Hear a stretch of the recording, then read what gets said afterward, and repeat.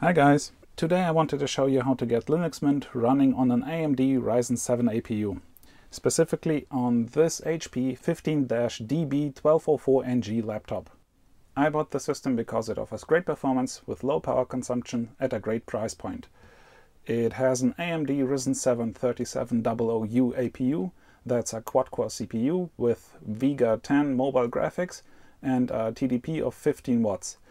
It also comes with 16 gigabytes of RAM, a 256 gigabyte SSD, two USB 3 ports, and which was very important to me, also an Ethernet port and an optical drive. And at only 600 euros, I think it is also a pretty good deal. There is a link in the descriptions with the exact hardware specs. I really like this laptop, but I had a lot of difficulties getting it running properly. Either it wouldn't boot, or the graphics wouldn't run properly, or the desktop environment of my choice, Cinnamon, would crash instantly. Nothing I tried was working, and I was seriously considering returning it back to the seller. Because without Linux, it would be useless to me. I spent more than three days researching online and trying things out before I found a solution. And if you think about it, the solution is quite simple. With this bleeding edge hardware, you have to use bleeding edge software. Easy, and I really didn't want to do this. I like stable and reliable systems, and therefore I really wanted to run Linux Mint 18.3 with one of the 419 or 420 series kernels. I tried countless kernels, but it was hopeless, and I spent a lot of time getting nowhere. And so for now, there is no other way, and I guess I should be happy that I got it going at all. So let me show you how to do it. Download Linux Mint 19.1 with Cinnamon and make a bootable USB drive, like this one. Turn on the laptop. Right after that, press Escape to enter the BIOS options. For BIOS setup, press F10. Disable Secure Boot. Then hit F10 for Save and Exit. Then once again press Escape to enter the boot menu. Hit F9 for boot options. Select USB, boot from USB. You don't need to modify the boot options. It should boot through, but if it doesn't, try no mode set install it without third-party software and internet connection, and now let it run through the installation process. Now it's done with the installation, let's reboot it. Now it should boot through to the freshly installed Linux Mint on the hard drive. Let's test that out. And here you can see our issue. It's running in software rendering mode, and you can also see the colors are a bit flat and the display is quite dim, so I think the brightness is at 50% or something like that. So I think there's something wrong with the graphics, and to check that, let's try out GLX Gears and see what performance we get. Only a thousand FPS. That's really, really poor. This hardware should be capable of much more than that. So there's obviously something wrong and the graphics aren't supported fully. So this is just on the CPU software rendering. And how do we fix that? After the install, we connect it to the internet and go into the terminal and do an update and an upgrade.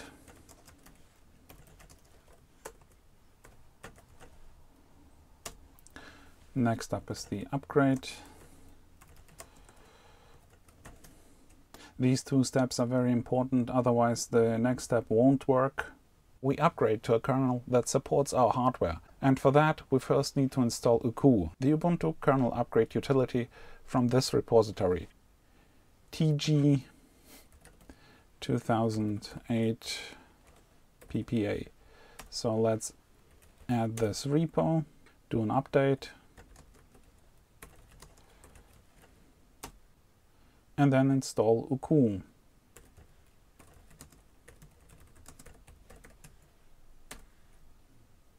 Once that's done, let's start UKUU.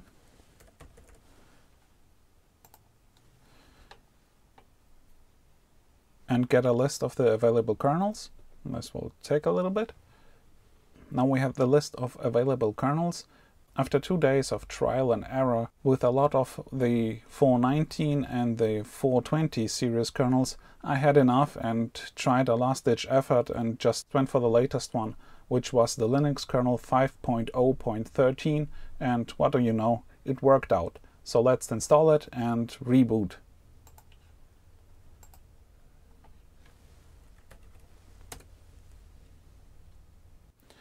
After reboot we are still in software rendering mode and if we check we are at the newer kernel, but if you check the graphics performance, you still see that it's nowhere near where it should be. It's like 1200 FPS, 1200.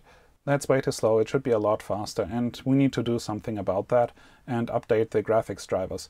For that, we need the latest AMD GPU drivers, and we can get them at the OIBAF PPA. So let's add that PPA to our repository.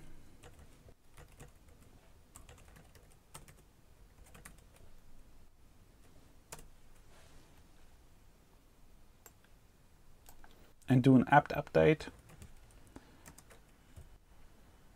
And this time do a dist upgrade to get the latest AMD GPU drivers. You can see which packets will be updated and one of them will be G AMD GPU and so on. So this is what we need.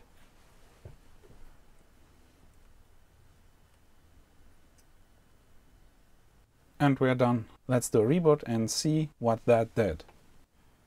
And after the reboot, we are done. And you can immediately see the brighter display, the better colors, and the warning that it's only running on software rendering mode is gone. And if you check GLX gears, I expect a way better performance. So let's check that. What do we get? Oh, only 70 FPS, what? Ah, that's because the frame rate is limited to the frame rate of the display. That's why it's showing exactly 60 FPS. We can bypass that with VBlank mode 0 and then do GLX gears. And let's see what we get. Come on, come on, come on. Yeah, 6000 FPS. Uh, that's a bit low. Need, I, I want more. 6600, 700. About 6600 FPS. That's like five times more than we had in software rendering mode. But I don't think that's all this machine can do.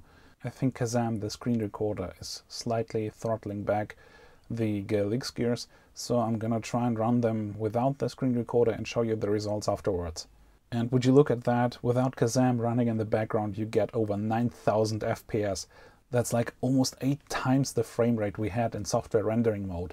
Whoa, that's awesome and was really worth the effort, so I'm quite happy about that and that's a really good performance for this uh, Ryzen 3700U APU and I'm really happy I got it running properly. So that's it, we're done. We have the full hardware power. See, easy once you know how. But beware, with the latest and greatest kernel you might experience some stability issues. I've read about daily system freezes, but haven't experienced them yet. Just a word of caution, save your work more often. We can check the graphics performance with another graphics benchmark, GLMark2. GLMark2 is finished and this Ryzen 7 3700U APU achieved a score of 3085 points, which is quite respectable considering my previous laptop, which had a Core i7 3632QM processor and a dedicated AMD 7730M graphics card, only achieves around 1900 points. So this machine is actually 50% faster than my previous one. And I'm quite satisfied with this performance, especially considering the price and the low power consumption of only 15 watts. So I'm definitely gonna keep this machine around. And now one last thing specific to this HP laptop, the missing Wi-Fi. For that we need to install a missing driver. First install some needed software. It's git dkms and build essentials then clone the driver repository.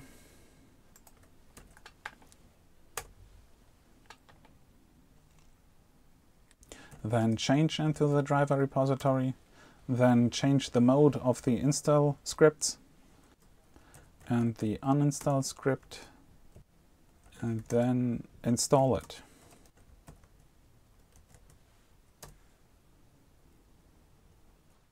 Next, check if they are used.